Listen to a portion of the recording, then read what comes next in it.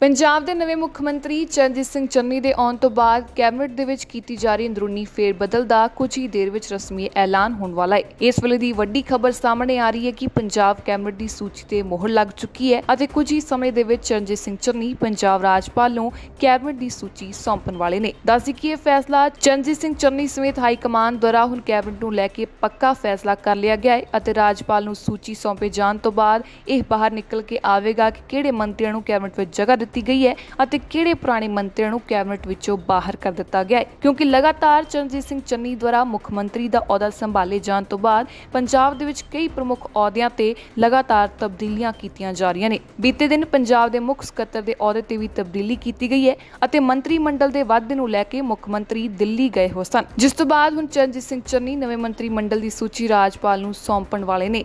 ਦੱਸਦੀ ਕਿ ਬੀਤੇ ਦਿਨ ਸਵੇਰ ਚਰਨਜੀਤ ਸਿੰਘ ਚੰਨੀ ਦਿੱਲੀ ਤੋਂ ਕਾਂਗਰਸ ਦੇ ਨਾਲ ਗੱਲਬਾਤ ਕਰਕੇ ਵਾਪਸ ਪਰਤੇ ਸਨ, ਪਰ ਸ਼ਾਮ ਨੂੰ ਇੱਕ ਵਾਰ ਫਿਰ ਤੋਂ ਉਹਨਾਂ ਨੂੰ ਦਿੱਲੀ ਬੁਲਾ ਲਿਆ ਜਾਂਦਾ ਹੈ।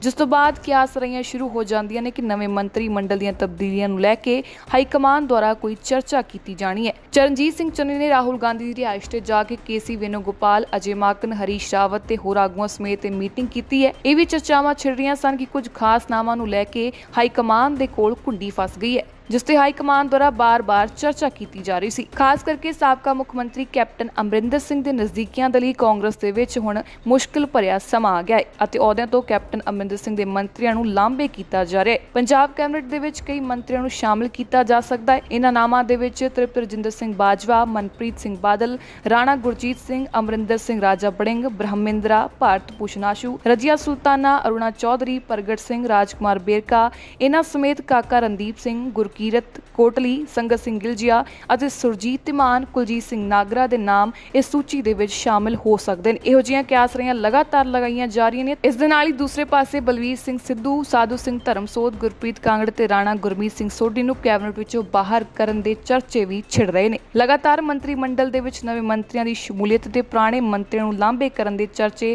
ਸਿਆਸੀ ਗਲਿਆਰਾਂ ਦੇ ਵਿੱਚ ਛਾਏ ਹੋਏ ਨੇ। ਪਰ ਹੁਣ ਚਰਨਜੀਤ ਸਿੰਘ ਚੰਨੀ ਦੁਆਰਾ ਜਦ ਪੰਜਾਬ ਦੇ ਰਾਜਪਾਲ ਬਨਵਾਰੀ ਲਾਲ ਪੁਰੋਹਿਤ ਨੂੰ ਇਹ ਸੂਚੀ ਸੌਂਪੀ ਜਾਵੇਗੀ। ਉਸ ਤੋਂ ਬਾਅਦ ਇਹ ਤਸਵੀਰ ਸਪਸ਼ਟ ਹੋ ਪਾਵੇਗੀ ਕਿ ਕਿਹੜੇ ਮੰਤਰੀਆਂ ਨੂੰ ਜਗ੍ਹਾ ਦਿੱਤੀ ਗਈ ਹੈ ਅਤੇ ਕਿਹੜੇ ਮੰਤਰੀ ਨੂੰ ਲਾਂਬੇ ਕਰ ਦਿੱਤਾ ਗਿਆ ਹੈ। ਇਸ ਦੇ ਨਾਲ ਇਹ ਵੀ ਕਿਆਸ ਰਹੀਆਂ ਲਗਾਈਆਂ ਜਾ ਰਹੀਆਂ ਨੇ ਕਿ ਸੋਮਵਾਰ ਨੂੰ ਨਵੇਂ ਕੈਬਨਿਟ ਮੰਤਰੀਆਂ ਦਾ ਸਹੁੰ ਚੁੱਕ ਸਮਾਗਮ ਕਰਵਾਇਆ ਜਾ ਸਕਦਾ ਹੈ। ਪਰ ਅੱਜ ਰਾਜਪਾਲ ਦੇ ਨਾਲ ਮੁੱਖ ਮੰਤਰੀ ਦੀ ਮੀਟਿੰਗ ਤੋਂ ਬਾਅਦ ਹੀ ਪਤਾ ਲੱਗੇਗਾ ਕਿ ਕੈਬਨਿਟ ਦੇ ਵਿੱਚ ਹੋਈ ਇਸ ਤਬਦੀਲੀ ਤੋਂ ਬਾਅਦ ਲਾਂਬੇ ਕੀਤੇ ਗਏ ਮੰਤਰੀਆਂ ਦੁਆਰਾ ਕਿਸ ਤਰ੍ਹਾਂ ਦੀ ਪ੍ਰਤੀਕਿਰਿਆ ਜ਼ਾਹਿਰ ਕੀਤੀ ਜਾਵੇਗੀ ਅਤੇ ਉਸ ਤੋਂ ਬਾਅਦ ਕਿਸ ਤਰ੍ਹਾਂ ਸਹੁੰ ਚੁੱਕ ਸਮਾਗਮ ਅਤੇ ਕੈਬਨਿਟ ਵਿਸਥਾਰ ਦਾ ਕਾਰਜ ਨੇਪਰੇ ਚੜਦਾ ਹੈ। ਜ਼ਿਕਰਯੋਗ ਹੈ ਕਿ ਕੈਪਟਨ ਅਮਰਿੰਦਰ ਸਿੰਘ ਦੁਆਰਾ ਮੁੱਖ ਮੰਤਰੀ ਦੇ ਅਹੁਦੇ ਤੋਂ ਅਸਤੀਫਾ ਦੇ ਦਿੱਤੇ ਜਾਣ ਤੋਂ ਬਾਅਦ ਕਾਂਗਰਸ ਦੇ ਵਿੱਚ ਵੱਖ-ਵੱਖ ਪਾਵਰ ਸੈਂਟਰ ਬਣ ਚੁੱਕੇ ਨੇ, ਜਿਸ ਨੂੰ ਲੈ ਕੇ ਕੈਪਟਨ ਦੇ ਧੜੇ ਦੇ ਮੰਤਰੀਆਂ ਦੇ ਲਈ ਹੁਣ ਮੁਸ਼ਕਲਾਂ ਦਾ ਸਮਾਂ ਬਣ ਗਿਆ ਹੈ। ਕੈਪਟਨ ਅਮਰਿੰਦਰ ਸਿੰਘ ਦੁਆਰਾ ਨਵਜੋਤ ਸਿੰਘ ਸਿੱਧੂ ਦੇ ਖਿਲਾਫ ਉਮੀਦਵਾਰ ਖੜਾ ਕਰਨ ਦੀ ਗੱਲ ਆਖੀ ਜਾ ਰਹੀ ਹੈ ਅਤੇ ਉਧਰ ਹਾਈ ਕਮਾਂਡ ਦੁਆਰਾ ਕਾਂਗਰਸ ਦੇ ਅੰਦਰੂਨੀ ਕਲੇਸ਼ ਨੂੰ ਖਤਮ ਕਰਨ ਦੇ ਲਈ ਅਤੇ 2022 ਦੀਆਂ ਵਿਧਾਨ ਸਭਾ ਚੋਣਾਂ ਦੇ ਲਈ ਪੰਜਾਬ ਦੇ ਵਿੱਚ ਆਪਣੀ ਮਜ਼ਬੂਤੀ ਕਾਇਮ ਕਰਨ ਦੇ ਲਈ ਕਰੜੇ ਯਤਨ ਵੀ ਕੀਤੇ ਜਾ ਰਹੇ ਨੇ। ਹੁਣ ਦੇਖਣਾ ਹੋਵੇਗਾ ਕਿ ਰਾਜਪਾਲ ਨੂੰ ਸੌਂਪੀ ਜਾਂਦੀ ਸੂਚੀ ਦੇ ਵਿੱਚ ਕਿਹੜੇ ਨਵੇਂ ਮੰਤਰੀਆਂ ਨੂੰ ਕੈਬਨਿਟ ਦੇ ਵਿੱਚ ਜਗ੍ਹਾ ਦਿੱਤੀ ਜਾਂਦੀ ਹੈ ਤੇ ਨਵੀਂ ਕੈਬਨਿਟ ਦੇ ਵਿੱਚ ਕੀ ਕੁਝ ਵਿਸਥਾਰ ਸਾਹਮਣੇ ਆਉਂਦਾ ਹੈ। ਜ਼ਿਕਰਯੋਗ ਹੈ ਕਿ ਮੁੱਖ ਮੰਤਰੀ ਚਰਨਜੀਤ ਸਿੰਘ ਚੰਨੀ ਦੇ ਆਗਮਨ ਤੋਂ ਬਾਅਦ ਇਹ ਵਾਅਦੇ ਤੇ ਦਾਅਵੇ ਕਾਂਗਰਸ ਪਾਰਟੀ ਦੁਆਰਾ ਜੋਰਾਂ ਸ਼ੁਰੂਆਂ ਦੇ ਨਾਲ ਕੀਤੇ ਜਾ ਰਹੇ ਨੇ ਕਿ ਪੰਜਾਬ ਦੇ ਵਿੱਚ ਇਨ੍ਹਾਂ ਬਚੇ 3 ਮਹੀਨਿਆਂ ਦੇ ਵਿੱਚ ਕਾਂਗਰਸ ਦੁਆਰਾ ਆਪਣੇ ਵਾਅਦਿਆਂ ਨੂੰ ਪੂਰਾ ਕੀਤਾ ਜਾਵੇਗਾ। ਸੋ ਕੈਬਨਿਟ ਦੇ ਵਿੱਚ ਤਬਦੀਲੀ ਤੋਂ ਬਾਅਦ ਕਿਸ ਤਰ੍ਹਾਂ ਇਹ ਵਾਅਦੇ ਪੂਰੇ ਹੁੰਦੇ ਨੇ ਤੇ ਸਭ ਤੋਂ ਅਹਿਮ ਕਿ ਪੰਜਾਬ ਦੇ ਲੋਕਾਂ ਨੂੰ ਨਵੀਂ ਕੈਬਨਿਟ ਤੋਂ ਕੀ ਕੁਝ ਲਾਭ ਮਿਲਦਾ ਹੈ ਇਹ ਦੇਖਣਯੋਗ ਹੋਵੇਗਾ। ਬਿਊਰੋ ਰਿਪੋਰਟ ਦੇਸ਼ ਪ੍ਰਦੇਸ਼ ਟੀਵੀ, ਚੰਡੀਗੜ੍ਹ।